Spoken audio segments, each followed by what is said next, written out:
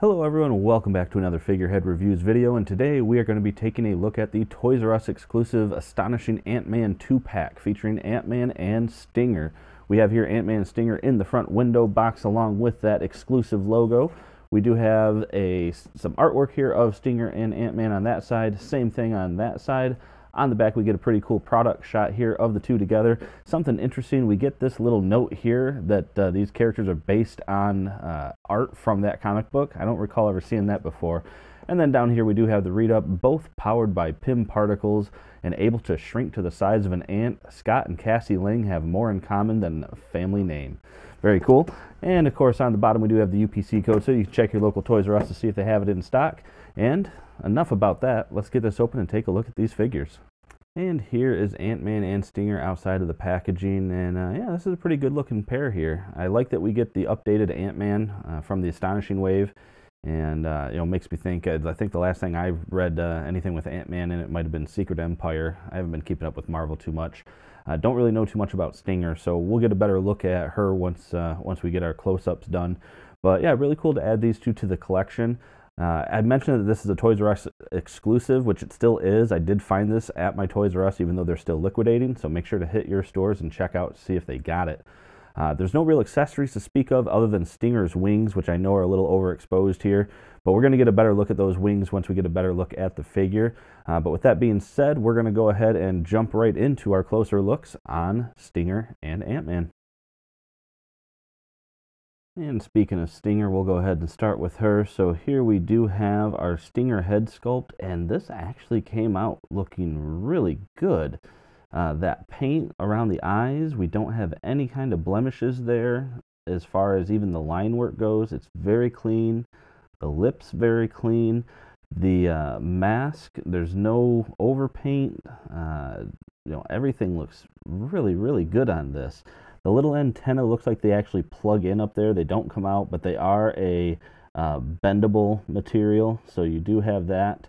Uh, you don't really have to be too cautious with them. These, I think, these are a little bendable too. Eh, those are a little bit harder.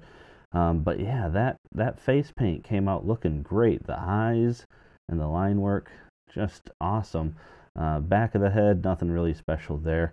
Uh, while we're back here though, we can take a look. So we do have the wings here and you can see it's this translucent blue and I'm trying to get you the color. I know I'm a bit uh, it's difficult on the white background here. It is a very light blue and it does just plug in. This is the same body that we've seen with the female uh, beetle and wasp character.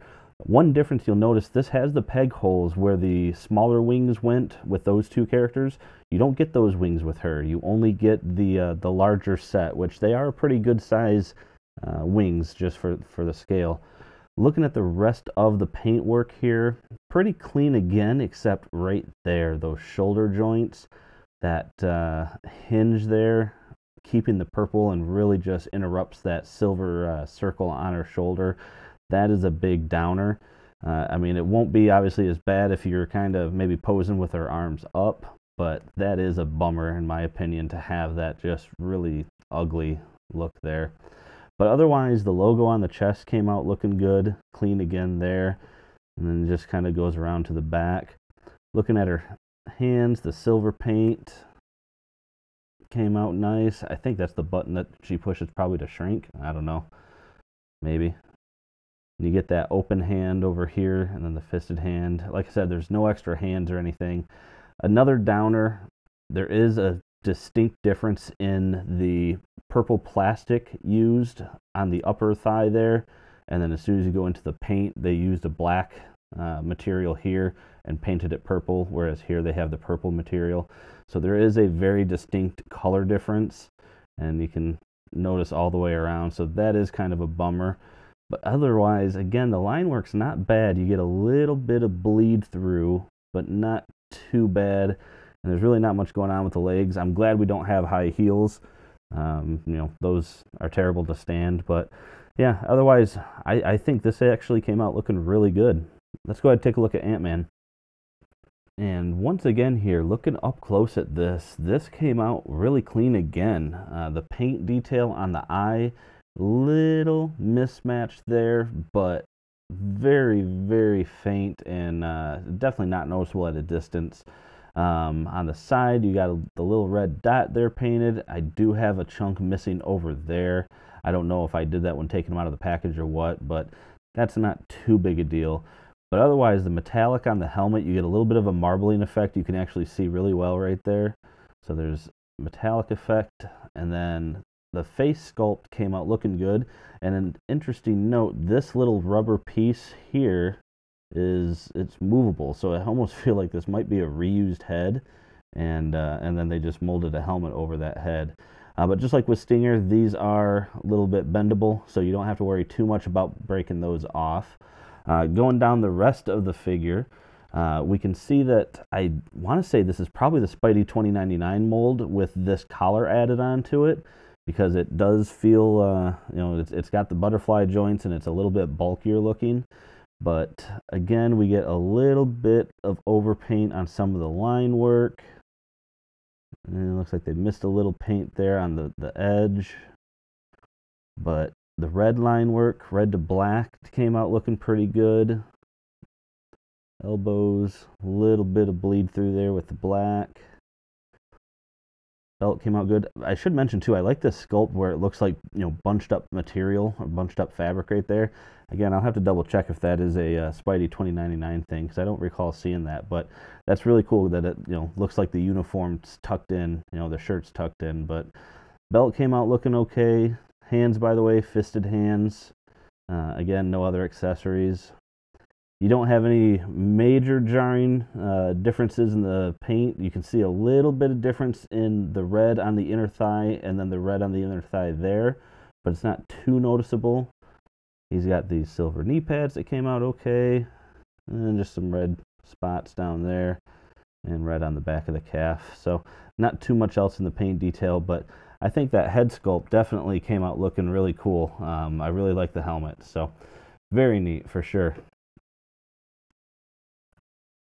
And while it is somewhat humorous to be talking about the scale with characters that can change their scale uh, in the actual universe, we'll still take a look at these figures. So we have Stinger there coming in at just over five and a half inches, and Ant-Man just about six and a quarter inches. And I also measured, measured Stinger's uh, wingspan, and that is almost nine inches wide for her wingspan. So quite the impressive wingspan on her.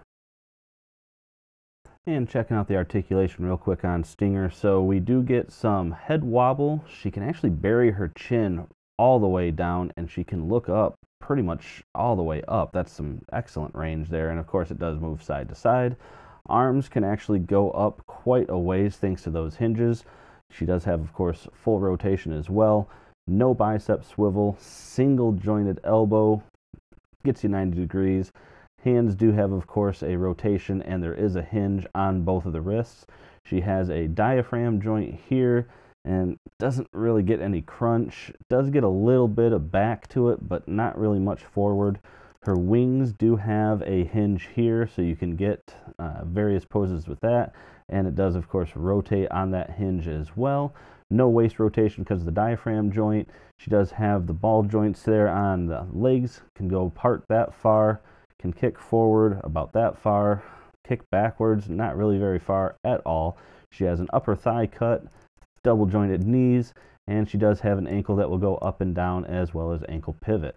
Looking at Ant-Man here, he does have chin that can go down pretty much buried, look up decent amount. He doesn't really have a whole lot of head wobble, but of course he does have side to side. Arms, of course, that give full rotation around and can come up quite a ways. He's also got that butterfly joint, so he gets some really far backwards and forward range out of that. He does have a bicep swivel, double jointed elbow, which seems to not get much further than a single jointed elbow. He does have wrist rotation as well as a hinge on the wrist. He does have an ab crunch that gets him down that far, up that far, waist rotation, legs that can come apart that far, kick forward, pretty far. Kick backwards, not too much. Upper thigh cut, double jointed knee that gets all the way back. He does have a boot cut, and then he has ankles that go up and down and has ankle pivot. And here's the astonishing Ant-Man and Stinger standing next to Wasp from the Ultron wave. The Walgreens exclusive comic book Ant-Man that we had previously, and the Ultron Wave Giant Man, which technically is Hank Pym, not Scott Lang. Uh, I do prefer definitely this new one over that old Walgreens one. You have that uh, pizza Spidey body that they used before, which was still cool that you had the butterfly joints and some great uh, range of motion on it. But I like this new body mold. I don't know if this is, like I said, the Spider-Man 2099, but it's definitely very similar with the uh, bulkier uh, upper torso and those butterfly joints. Very excited to get that. And just because scale doesn't matter, here is Ant-Man and Stinger trying to get into my sugary drink that I was drinking while making this review. And that about does it for this review today. And uh, yeah, all in all, I think this is a great set to add into uh, any collection because we do get some modern comic book accurate characters that uh, are definitely very popular still in the comic universe for Marvel.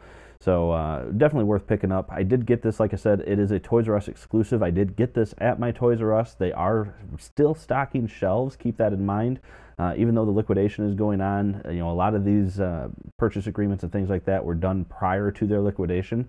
So make sure you hit up your local Toys R Us. They might have this sitting uh, in stock for you. I think mine had like six when I grabbed this today. So uh, very cool. And one more thing too, I just about how much I really love this body mold for Ant-Man. Just to point this out, he's not on anything. I got him balancing on one foot in this running pose uh, without having him in a peg hole or anything. Um, just another th reason why I love that body mold as far as just the posability on it.